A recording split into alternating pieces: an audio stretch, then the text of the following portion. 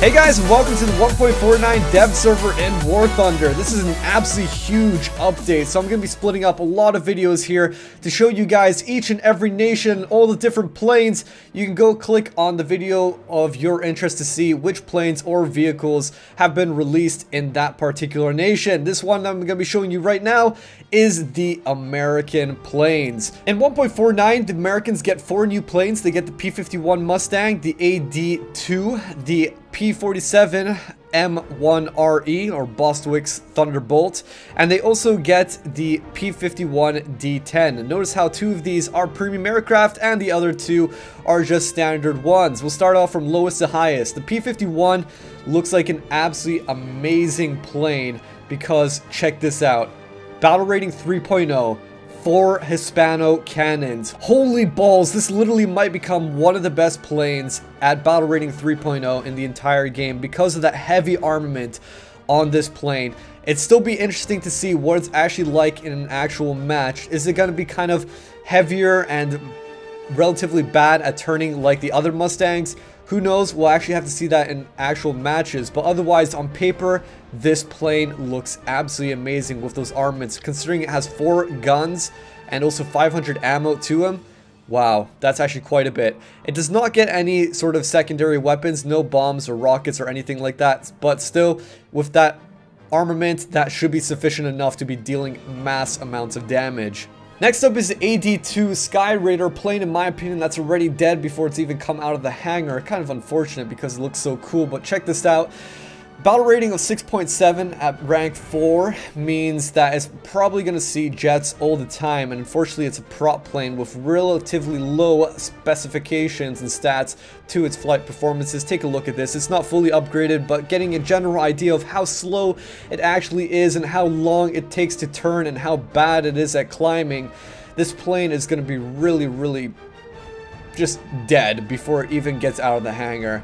Has two 20mm uh, cannons to it, which is kind of nice, but still lackluster at the high tiers, 400 ammo to it. And I guess the real place where it shines is the fact that it's meant to be more of like a sort of fighter bomber. It's supposed to take out targets. Unfortunately, there's no exact role that these planes are supposed to fill in in War Thunder at the moment, especially at higher tiers when you're coming up against jets.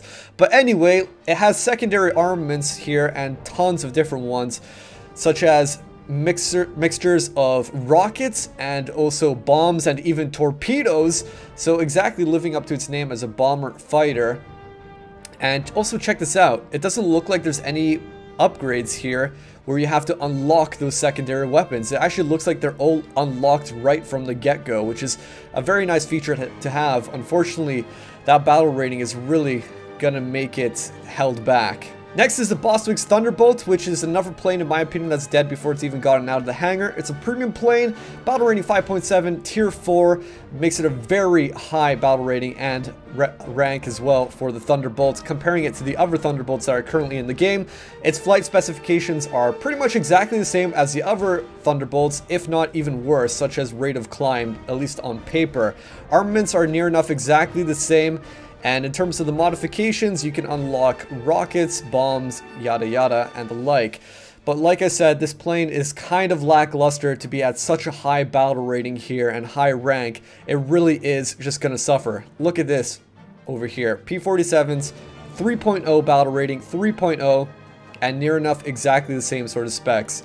Unfortunately, I don't see this one making a big splash. And then we have Wetmore's Mustang, which is pretty much exactly the same as the other Mustangs in the game in terms of flight specs and also armaments. It does have a slightly higher ammo load compared to some of the other Mustangs with 2080 bullets right here. But otherwise, near enough exactly the same. But because it's a premium plane, it gets extra premium bonuses by that plus 100% reward bonus.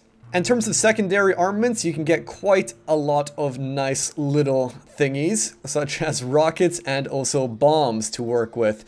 So if that's your sort of thing, if you want to go into a fighter role with an extra bit of firepower and losing some flight performance, then this Mustang will do you good. But that is it for the Americans with their airplanes. What are you guys most looking forward to? Leave your comment in the comment box below. But until the next video on the 1.49 dev server, this is Krebs, and I'll catch you guys next time. Mojo is local for show